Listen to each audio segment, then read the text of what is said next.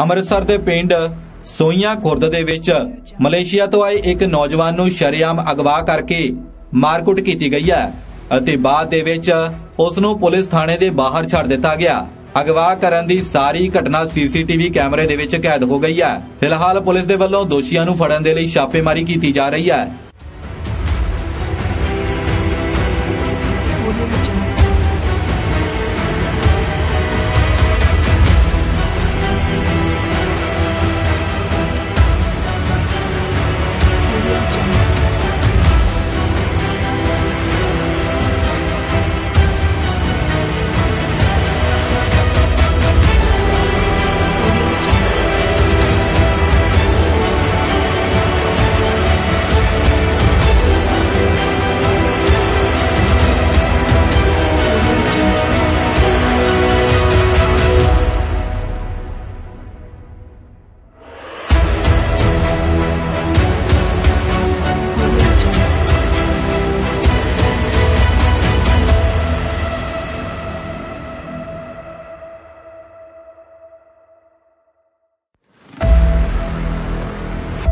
Audio Jungle.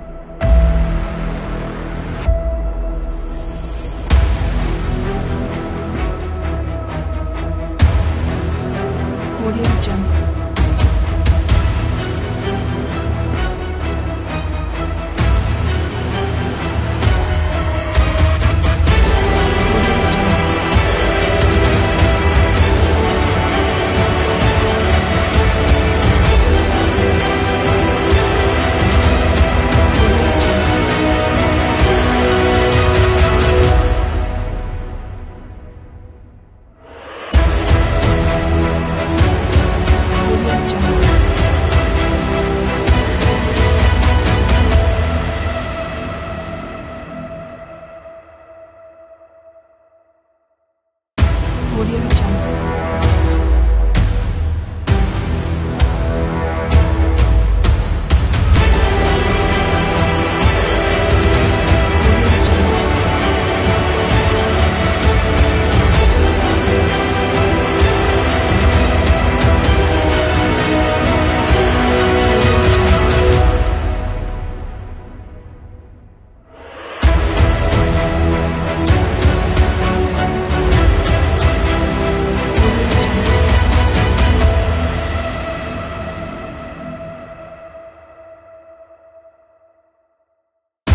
Audio Jungle.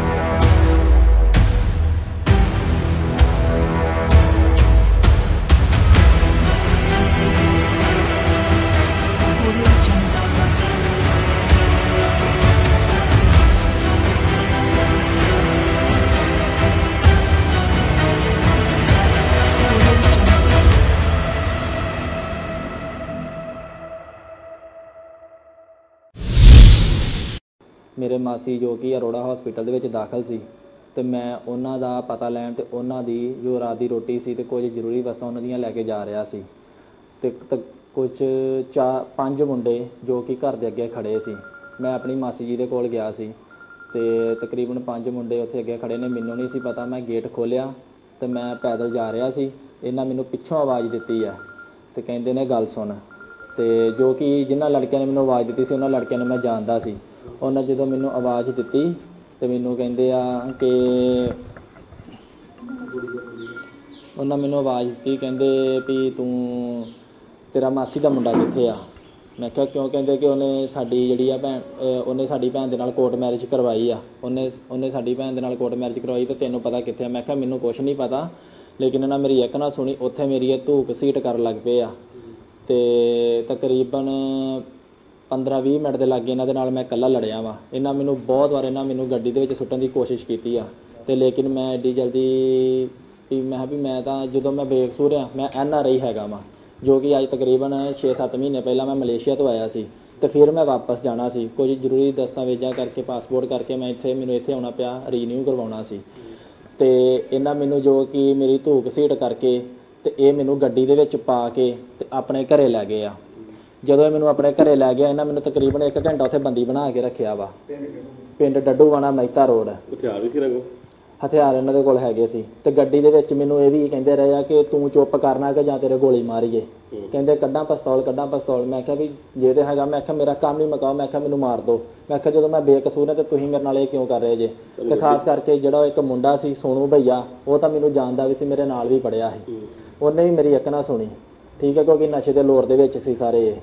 ਤੇ ਫਿਰ ਮੈਨੂੰ ਜਦੋਂ ਡੱਡੂਆਣਾ ਲੈ ਗਏ ਆ ਡੱਡੂਆਣਾ ਜਾ ਕੇ ਇਹਨਾਂ ਮੇਰੇ ਦੋ ਮੋਬਾਈਲ Vivo X5 Pro, ਤੇ iPhone 7 ਮੇਰਾ ਪਾਵਰ ਬੈਂਕ ਮੇਰੀਆਂ ਦੋ ਸੋਨੇ ਦੀਆਂ ਨੱਤੀਆਂ, ਮੇਰਾ ਪਰਸ ਜਿਹਦੇ ਵਿੱਚ 5000 ਨਗਦ ਕੈਸ਼ ਤੇ 150 ਮਲੇਸ਼ੀਅਨ ਡਾਲਰ, ਤੇ ਮੇਰਾ ਆਧਾਰ ਕਾਰਡ ਤੇ ਸ਼ਨਾਖਤੀ ਕਾਰਡ ਸੀ।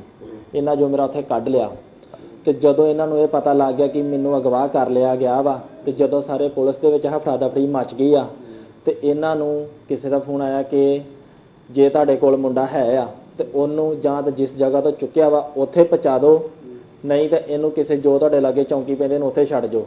ਤੇ ਫਿਰ ਜੋ ਇਹਨਾਂ ਨੂੰ ਹੱਥਾਂ ਪੈਰਾਂ ਦੀ ਪੈ ਗਈ ਆ ਇਹਨਾਂ ਦੇ ਕੋਲ ਫਿਰ ਕੋਈ ਰਸਤਾ ਨਹੀਂ ਬਚਿਆ। ਇਹਨਾਂ ਨੂੰ ਮੈਨੂੰ ਜਿਹੜਾ ਮਜਬੂਰਨ ਸੀ ਇਹ ਫਿਰ ਮੈਨੂੰ ਨਵਾਂ ਪਿੰਡ ਚੌਂਕੀ ਛੱਡ ਆਏ। ਹਾਂਜੀ। ਤੇ ਤੁਹਾਨੂੰ ਰਸਤੇ 'ਚ ਵੀ ਉਹਨਾਂ ਨੇ ਕੁੱਟਦੇ ਗਏ?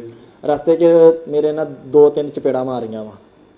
ਤੇ ਜੋ ਜਿਹੜੀਆਂ ਮੇਰੀਆਂ ਸੋਨੇ ਦੀਆਂ ਨੱਤੀਆਂ ਸੀ ਉਹ ਇਹਨਾਂ ਮੇਰੀਆਂ ਗੱਡੀ ਦੇ ਵਿੱਚ ਲਾਈਆਂ ਨੇ ਜ਼ਬਰਦਸਤੀ ਮੇਰੀਆਂ ਬਾਹਾਂ ਪਿੱਛੇ ਫੜ ਕੇ। ਤੇ ਗੱਡੀ ਦੇ ਵਿੱਚ ਮੈਨੂੰ ਇਹੀ ਧਮਕੀ ਦਿੰਦੇ ਗਏ ਆ ਤੈਨੂੰ ਮਾਰ ਦੇਣਾ ਤੈਨੂੰ ਮਾਰ ਦੇਣਾ ਤੇ ਬਸ ਮਾਰ ਦੇਣਾ। ਤੇਰੇ ਨਾਲ ਗਲਤ ਹਰਕਤਾਂ ਕਰਾਂਗੇ ਤੇਰੇ ਨਾਲ ਇਵੇਂ ਕਰਾਂਗੇ ਉਵੇਂ ਕਰਾਂਗੇ ਤੂੰ ਆਪੇ ਬਕੇਗਾ ਤੇ ਤੁਹਾਡੇ ਪਰਿਵਾਰ ਨੂੰ ਵੀ ਧਮਕੀ ਦੇ ਖਤਰੇ ਦੀ ਕੋਈ?